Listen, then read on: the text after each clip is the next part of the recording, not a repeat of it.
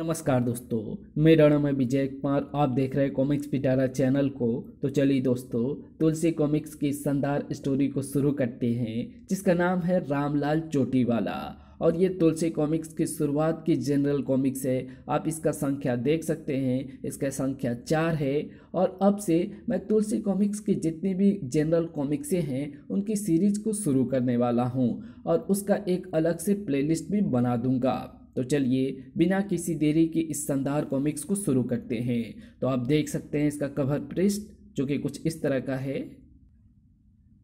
ये है रामलाल चोटीवाला, महानिखट्टू, पूरा निकम्मा, आलसी, आराम पसंद सक्की और पत्नी की कमाई खाने वाला।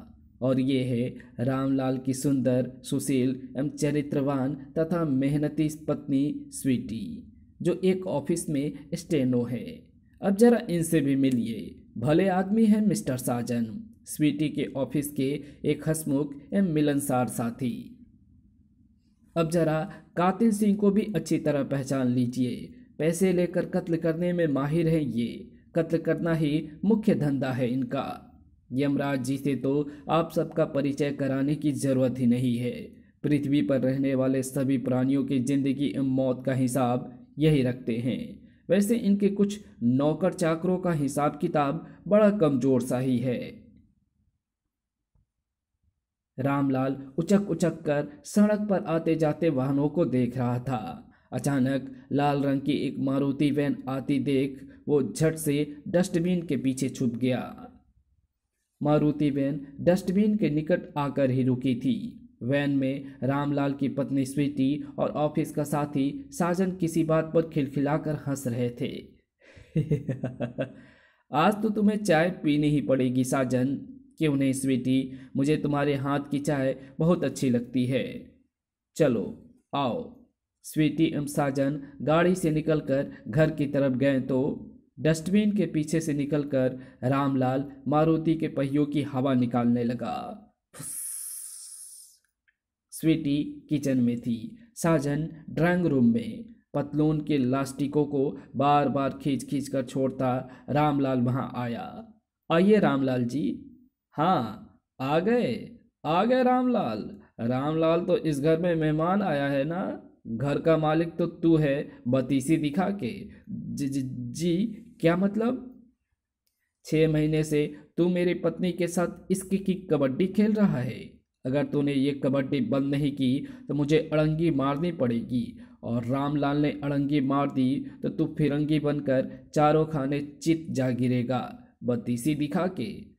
आप कैसी बातें कर रहे हैं रामलाल जी? मैं और स्वीटी तो साजन का वाक्य पूरा होने से पहले ही झपट कर दोनों हाथों से रामलाल ने उसका गिरेबान पकड़ लिया। सुबह शाम मेरी पत्नी को तू अपनी टमटम में मटर गश्ती क्यों कराता है? स्वीटी क्या तेरी अम्मा लगती है? अरे ये क्या कर रहे हो तुम? ये साजन है। ठिसुम। हाँ मैं जानता हूँ कि पिछले छः महीने से ये तेरा साजन है बतीसी दिखा के। उफ तुम समझते क्यों नहीं? साजन इसका नाम है। क्यों बे? बिगड़ बागड़ बिल्ले साजन तेरा नाम है क्या?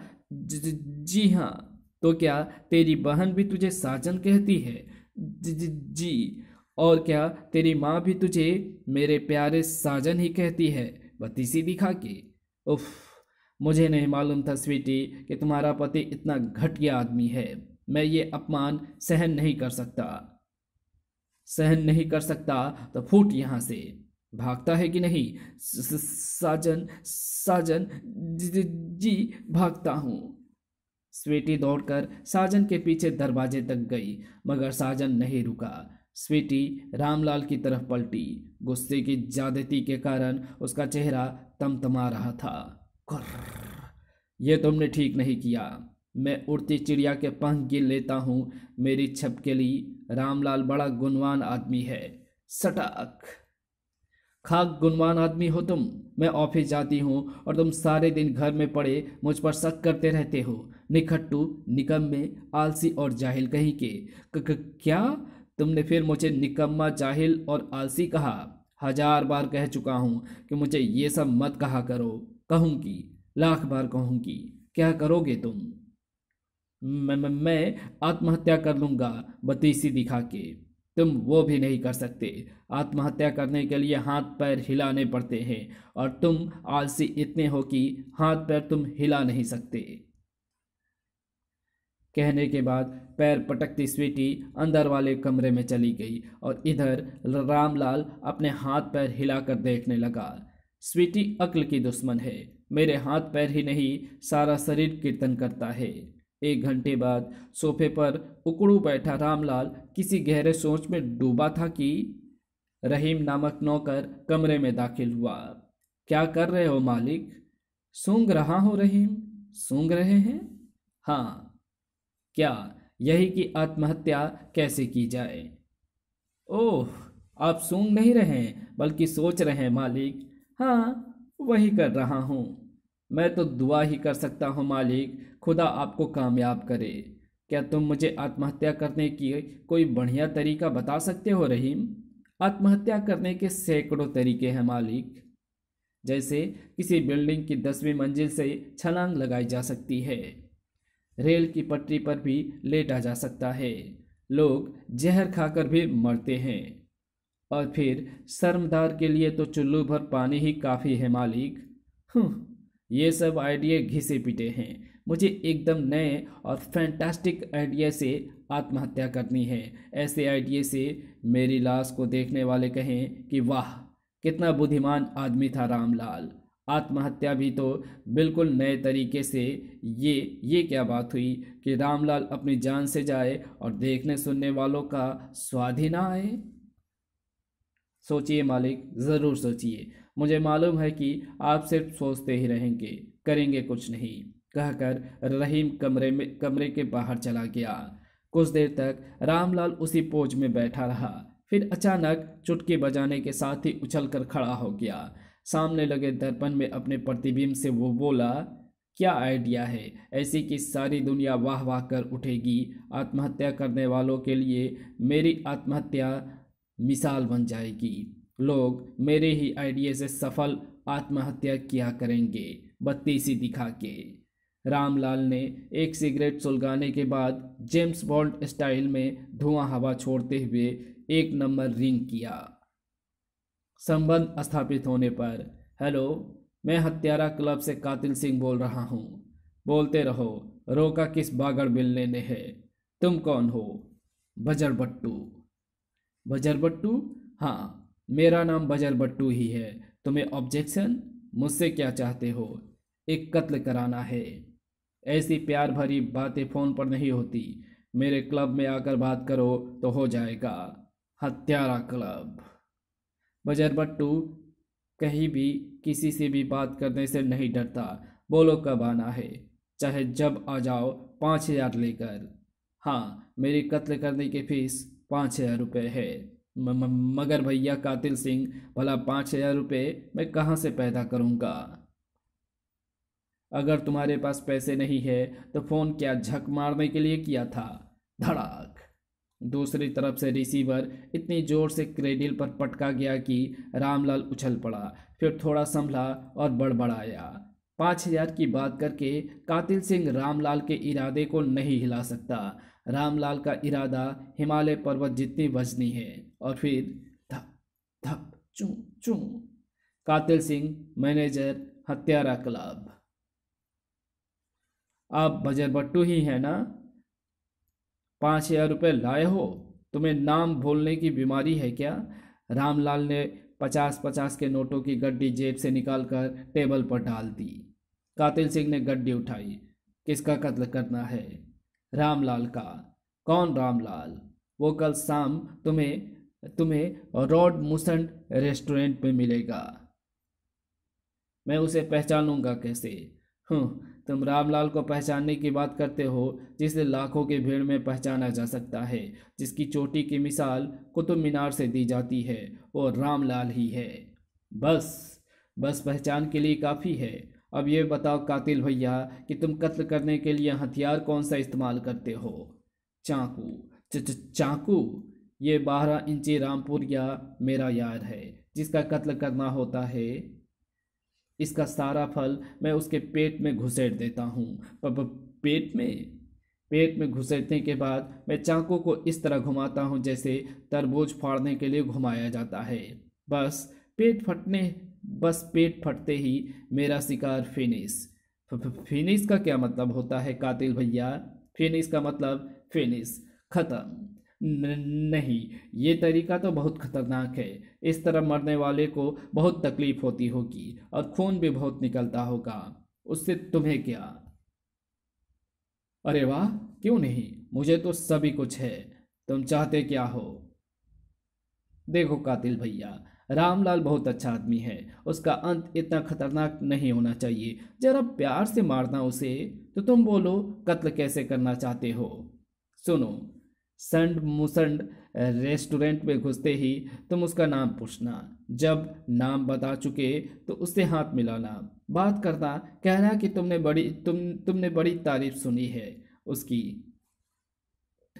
फिर कुछ देर बाद गप्पे हकना उसके बाद डिनर, मुझे दावत उड़ानी है उसके साथ या कत्ल करना है उसका। कत्ल, दावत उड़ाने के बाद करना है।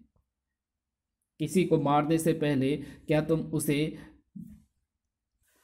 पेट भर खाना भी नहीं खिला सकते। इतनी सेंस तो होनी ही चाहिए। खैर, जब वो खाना खा चुके और फिंगर बॉल में हाथ धो रहा हो, बस उसी क्षण रिवॉल्वर निकाल कर तुम्हें उसे शूट कर देना है। याद रहे, गोली उसके माथे पर लगनी चाहिए ताकि एकदम मर जाए, तड़पना नहीं चाहिए रामलाल। समझ रहे हो ना? सब समझ रहा हूँ। अगले दिन रामलाल अपने कमरे में बैठा पत्र लिख रहा है।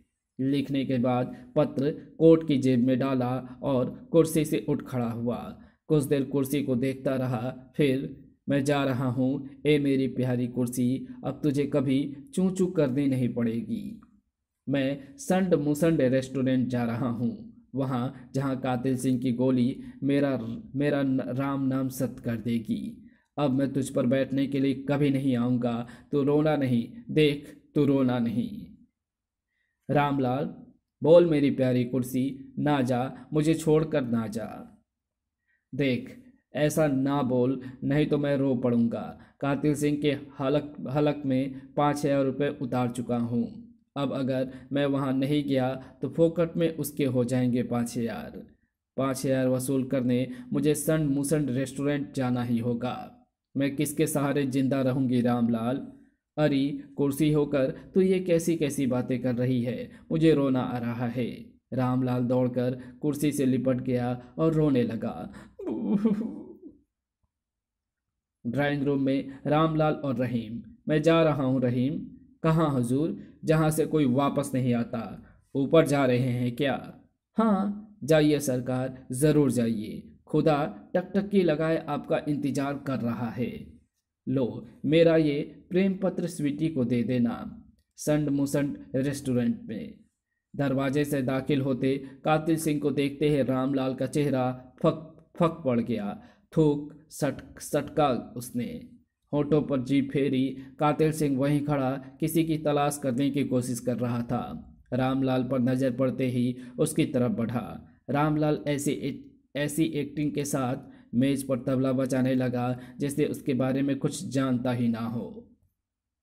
साथ ही गाने लगा, हम छोड़ने वाले हैं महफिल को, याद आए कभी तो मत रोना, तक धिन हेलो, नहीं हिलता तेरे बाप, नहीं हिलता तेरे बाप का राज है क्या? क्या मैं आपका नाम जान सकता हूँ? रामलाल कहते हैं मुझे। क्या मैं आपके बाप का नाम जान सकता हूँ? बाप का क्यों? क्योंकि मैं बाप का नाम जानने के बाद बेटे का नाम बता सकता हूँ, बत्ती सी दिखा के। ऐसा? जी हाँ ऐसा मेरे बाप का नाम जालिम सिंह था। तब तो तुम्हारा नाम ज़रूर कातिल सिंह होगा। कमाल है। आपको कैसे पता चल गया रामलाल जी? हमको ऐसे ही पता चल जाता है। रामलाल बड़ा टैलेंटेड आदमी है। बत्तीसी दिखा के। आप तो बिल्कुल वैसे ही हैं, रामलाल जी, जैसा सुना था। क्या सुना था हमारे बारे में? बड़ी तारीफ़ सुनी थी आपकी। क्या मैं यहाँ बैठ सकता हूँ? ज़रूर बैठिए, मगर बत्ती सी दिखा के। उधर, रामलाल ने मेरे और तुम्हारे संबंधों को लेकर इतनी गलत बात कैसे सोच ली, स्वीटी? तुम तो जानते ही हो, साजन, कि वे थोड़े सक्के मिजाज हैं। उनका शक दूर करने का मैंने एक तरीका सोचा है। क्या? आज मैं उनके सामने तुम्हारी कलाई पर राखी बांधूँगी। यदि आज से, यानी आज से हम रजिस्टर्ड भाई बहन बन जाएँगे। घर में दाखिल होने पर वे कहाँ हैं रहीम? वे खत दे गए हैं, कह गए हैं कि कभी वापस ना आने के लिए जा रहे हैं। स्वीटी, खत पढ़ती है। मैं तुम्हारे और साजन के बीच सैंडविच नहीं बनना चाहता, मेरी छपकली। मैंने सेब से तुम्हारे पाँच हज़ार रुपये मैंने सेब से तुम्हारे पाँच हज़ार रुपये चंपत करके कातिल सिंह को दे दिए हैं। वो किराए का कातिल है और उसकी समझदारी के मुताबिक रामलाल के कत्ल के लिए उसे किसी अन्य ने पाँच हज़ार दिए हैं। संड मुसंड रेस्टोरेंट से अगर तुम मेरी लाश उठवा लो तो मरने के बाद मेरी आत्मा कत्थक करती रहेगी। पत्र पढ़ते ही स्वीटी ने घबराकर सेब खोली। उसे खाली पाकर साजन की तरफ़ पलटी और उनका दिमाग खराब हो गया है साजन, उन्हें बचाना होगा। साजन और स्वीटी वहाँ से भागे। उधर संड मुसंड रेस्टोरेंट में रामलाल, कातिल सिंह आमने सामने बैठे डिनर ले रहे थे। वे कुछ बातें भी करते जा रहे थे, परंतु इनकी बातें ना सुनकर हम ज़रा एक अन्य मेज पर चल रही बातें सुने। पता नहीं रामलाल जी अभी तक क्यों नहीं आए। वैसे टाइम देने के बाद रामलाल जी कभी लेट तो होते ही नहीं हैं। लो, रामलाल जी तो वे चले आ रहे हैं। सूटेड बूटेड व्यक्ति उनके नज़दीक पहुँचा तो सभी लोगों ने खड़े होकर उनका स्वागत किया।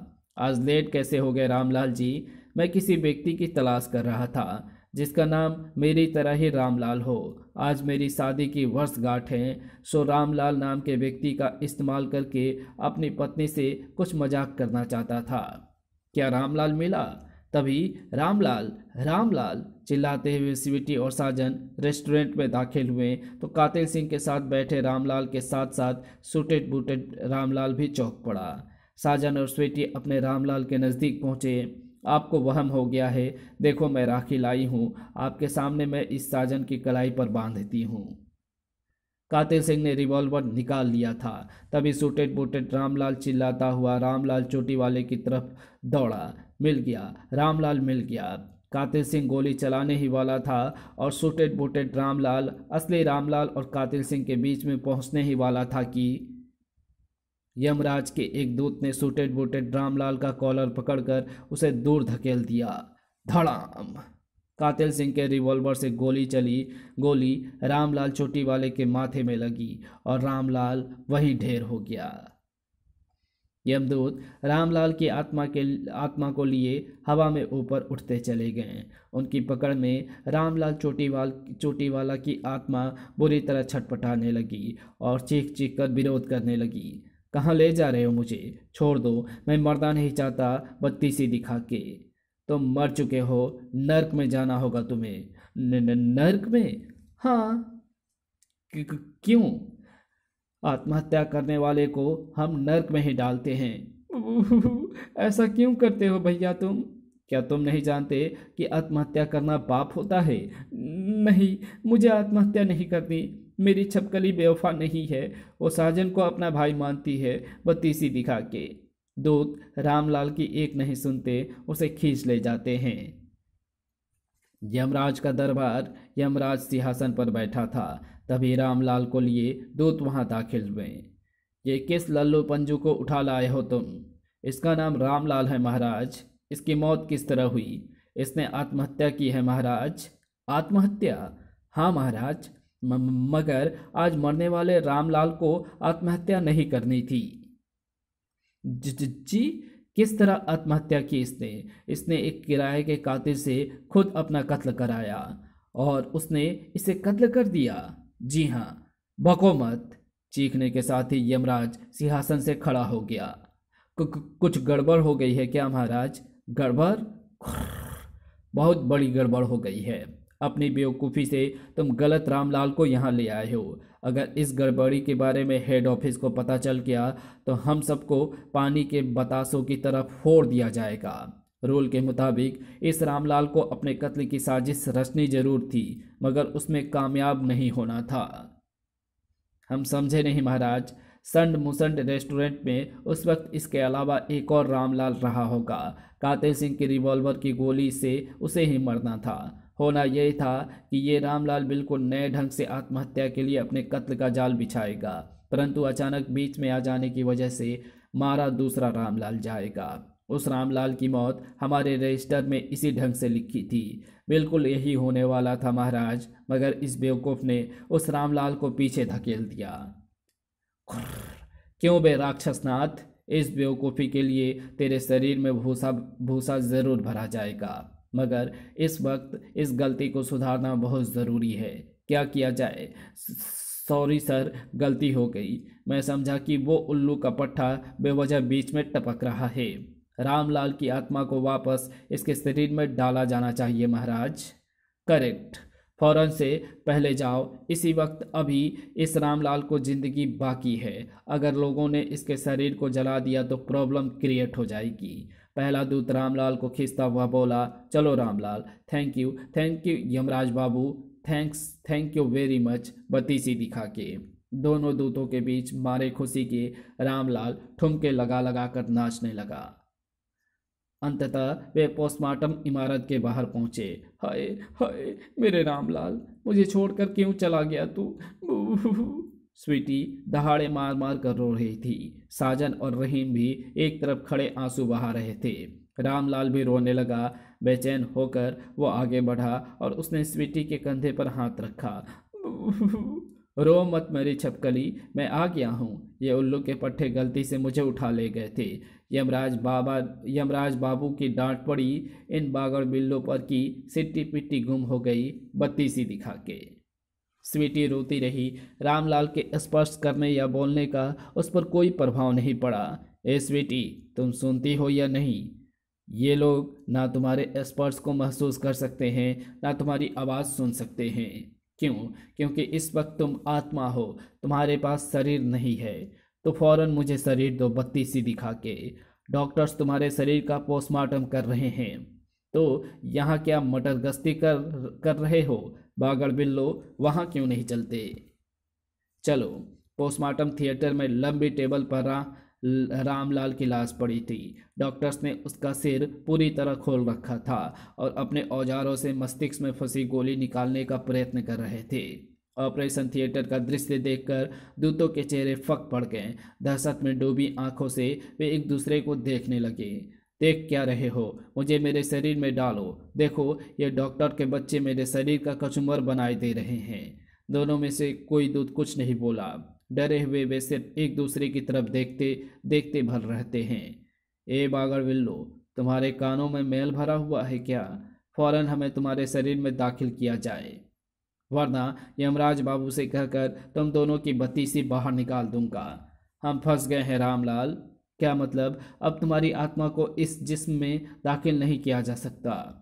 यमराज सिंहासन पर विराजमान था। दोनों दूत रामलाल को लिए वहाँ दाखिल हुए। दूतों की बात सुनने के बाद डॉक्टरों ने रामलाल के दिमाग को चीर डाला है। और आप तो जानते ही हैं, जिस शरीर में दिमाग ना हो, उसके अंदर किसी आत्मा को प्रविष्ट नहीं कराया जा सकता।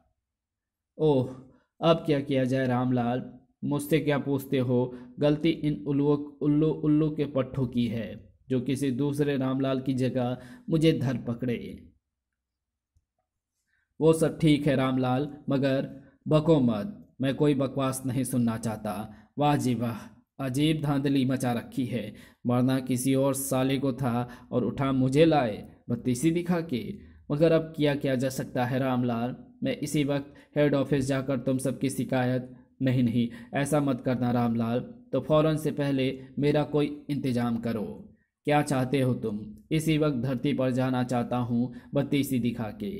अब ये कैसे हो? मेरे दिमाग में एक आइडिया आया है महाराज। क्या?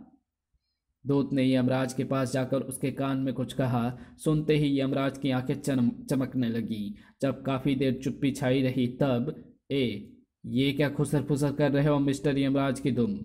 कुछ करते हो या मैं जाऊँ हेड ऑफ़िस बत्तीसी दिखा के? देखो रामलाल जी, वो शरीर अब इस लायक नहीं रहा कि तुम्हें उसमें भेजा जा सके। अब तुम्हें धरती पर भेजने का हमारे पास सिर्फ़ एक ही रास्ता है। क्या यही कि तुम्हें किसी अन्य रामलाल के जिसमें दाखिल करा दिया जाए? क्या मतलब? पृथ्वी पर हज़ारों रामलाल हैं। हर पेशों में तरह तरह के रामलाल वकील भी हैं। हर पेशे में हर तरह के रामलाल वकील भी हैं जज भी हैं नेता अभिनेता और पुलिस वाला भी है। अमीर भी है गरीब भी है कोई गाँव में रहता है कोई शहर में। रामलाल नाम के गुंडे भी हैं जासूस भी हैं। तुम जिस रामलाल के शरीर में जाना चाह चा, जाना चाहे जा सकते हो जो चाहे बन सकते हो चाहे जिस शरीर में भेज सकते हैं हम तुम्हें। चाहे जिस शरीर में बत्तीसी दिखा के हाँ तो निकालो लिस्ट। मैं देखना चाहता हूँ पृथ्वी पर कितने रामलाल किस किस रूप में हैं। लिस्ट देखने के बाद फैसला करूँगा कि क्या हुआ रामलाल। चुप क्यों हो गए? किसी दूसरे के शरीर में जाने से कहीं मेरी ये मोहनी सूरत तो नहीं बदल जाएगी, पत्ती सी दिखा के।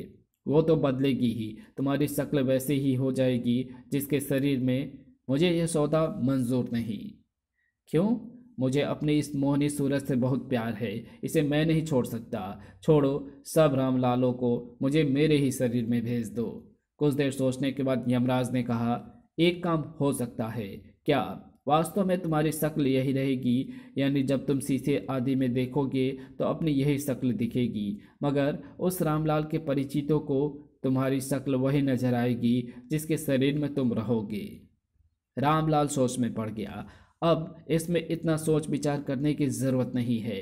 रामलाल जी, माना कि गलती हमारी है, मगर आपको भी थोड़ा कॉपरेट करना चाहिए। ठीक है, मैं तुम लोगों को कॉपरेट कर दूँगा, मगर एक शर्त रहेगी। कैसी शर्त? जिस रामलाल के शरीर में मुझे मुझे भेजा जाएगा, अगर मैं उससे बोर हो जाऊँ तो तुम मुझे इसके शरीर से वापस बुलाना होगा। सोते हुए रामलाल को झंझोड़ती हुई स्वीट स्वीटी बोली, उठो उठो, कौन से रामलाल के शरीर में भेजा जा रहा है तुम्हें? तुम कहाँ से आ गई, यमराज? तुम कहाँ से आ मरी, यमराज? कहाँ गया? कौन यमराज? कैसा यमराज? लगता है कि तुम्हारी सारी ज़िंदगी सपने ही देखते रहोगे। सपना? मैं सपना देख रहा था क्या? तुम जैसा निखट्टू सपने देखने के अलावा और कर भी क्या सकता है? क्या तुमने मुझे निखट्टू कहा? कहूँगी। एक बार नहीं, हज़ार बार कहूँगी। बार बार कहूँगी, निखट्टू निकम्मे आलसी और जाहिल कहीं के। इसी के साथ ये रामलाल की फ़नी स्टोरी यहीं समाप्त होती है। तो आपको ये वीडियो कैसी लगी? अगर आपको ये वीडियो अच्छी लगी हो तो इस वीडियो को लाइक, शेयर, कमेंट ज़रूर कर देना। चैनल पे नए हो तो चैनल को सब्सक्राइब कर ऑल नोटिफिकेशन को सिलेक्ट ज़रूर कर लेना। तो मिलते हैं आपसे इसकी अगली कॉमिक्स में। तब तक के लिए बाय